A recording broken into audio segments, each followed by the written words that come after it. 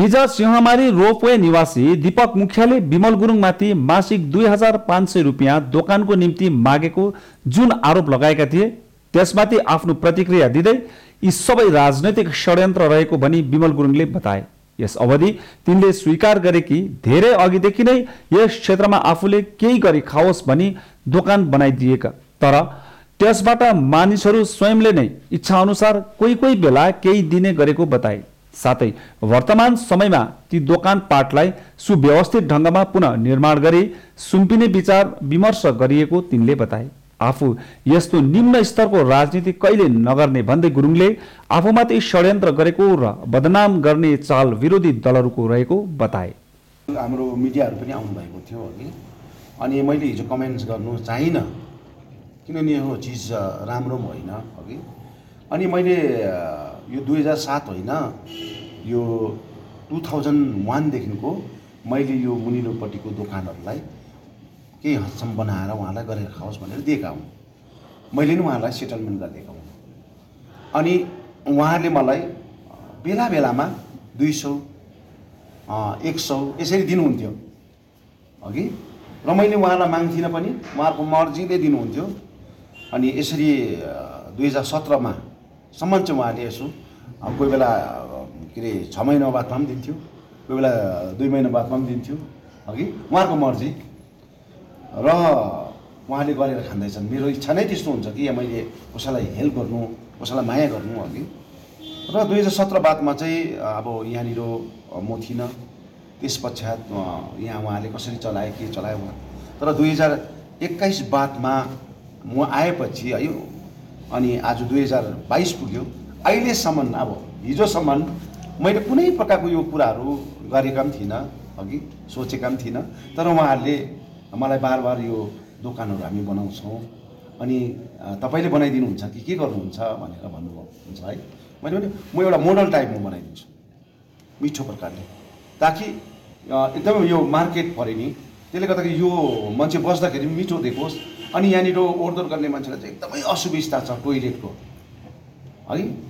अनि यहाँ चाहिँ एउटा लेडिज र जेन्ट्सको युरिनल चाहिँ म बनाइदिन्छु यहाँनिर त्यही उसमा चाहिँ बनाउँछु ताकि बजार पाट गर्ने ओहोरदोहोर गर्ने मान्छेलाई धेरै असुविस्ता हुन्छ त्यहाँ म बनाएर सानो भए पनि बनाएर गरिदिन्छु भनेर चाहिँ त्यसरी मैले मिलाएर तर एकदम राम्रोसँगले क्या त मिठो प्रकारले गरिदिन्छु भनेर भनेको थिएँ केही दिन अगाडि नै म उहाँलाई भनेको थिएँ। तर उहाँले चाहिँ हामीले यत्रो वर्ष भइसक्यो पहिला त हामीले तपाईँलाई दुई सौ भए पनि अढाई सौ भए पनि दिन्थ्यौँ तर अहिले हामीले दिएको छैनौँ। र अब के गर्नुपर्ने कसो गर्नुपर्ने भनेर भन्दाखेरि चाहिँ उहाँहरूले आफैले सल्लाह गर्नुभएको यो सबै कुराहरू। तर मलाई चाहिँ के भने मैले भोलिको दिनमा त्यहाँबाट पैसा थापेँ अरे मागेँ अरे भन्दाखेरि चाहिँ उहाँहरूले आफैले सल्लाह गर्नुभएको यो सबै कुराहरू। तर मलाई चाहिँ के भने मैले भोलिको दिनमा त्यहाँबाट पैसा थापेँ अरे मागेँ अरे अघि उहाँले दियो अरे। तर त्योभन्दा चाहिँ छ डबल चाहिँ मैले त्यहाँ खर्च गर्छु। किन मैले बनाउनु चाहेको? बनाएर गिफ्ट दिन चाहेको। आज मैले कोही नभएको गरिबी। जो चाहिँ बुढा पनि लाठी छ बुढा पनि लाडा छ। अघि त्यस्ताहरूको घर मैले कञ्चनजङ्घा ट्रस्टबाट तपाईँले केही दिन पछाडि देख्नुहुन्छ मैले बनाएर त्यो मोडल बनाएर उहाँलाई गिफ्ट दिएको। अघि यस्तो थुप्रो म एक लाख साठी हजार लगानीमा मैले उहाँलाई बनाएर दिँदैछु। मलाई त्यो पच्चिस सौमा राजनीति गर्नु छ? मैले पच्चिस सौको मान्छे हो म भन्नुहोस् त।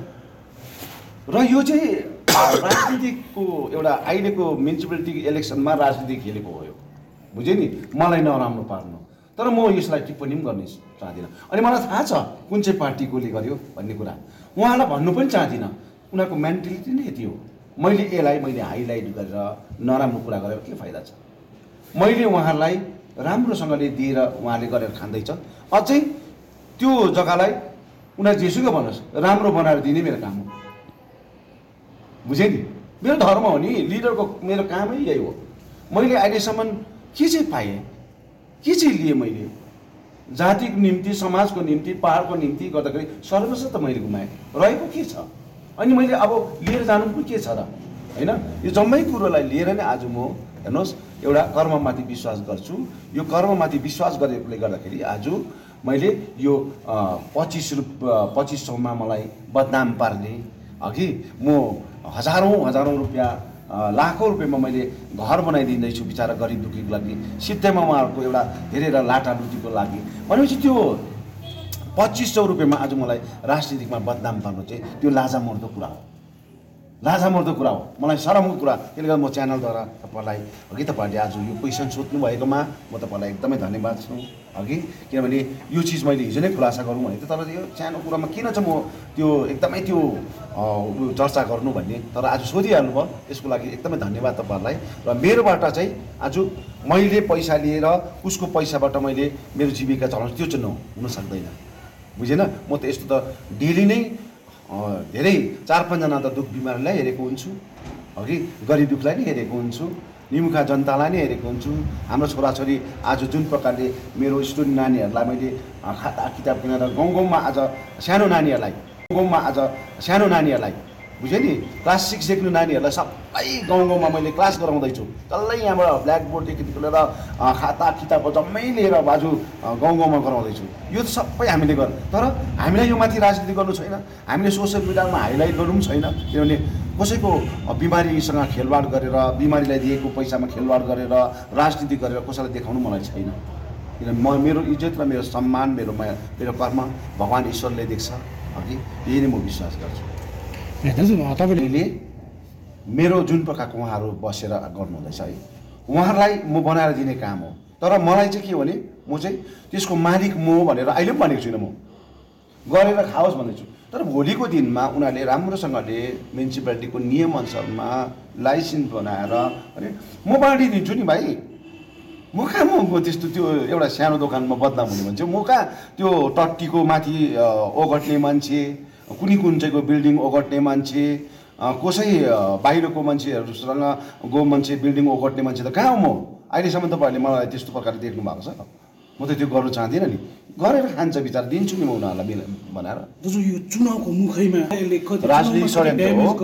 होइन होइन यस्तो ड्यामेजको कुरा हुँदैन। इमान्दारीको कुरा आउँछ ड्यामेजको कुरा आउँदैन मान्छेले भन्नेले त किसिम भन्छ अघि किसिम कुरा राख्छ तर म आफ्नो कर्ममा विश्वास गर्छु।